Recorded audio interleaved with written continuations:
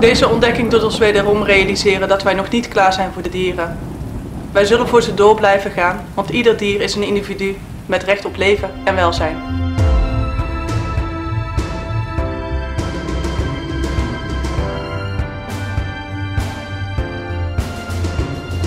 Dat je weet, voor, je ziet letterlijk voor wie je elke dag zo hard je best doet, zo hard werkt en zo hard strijdt.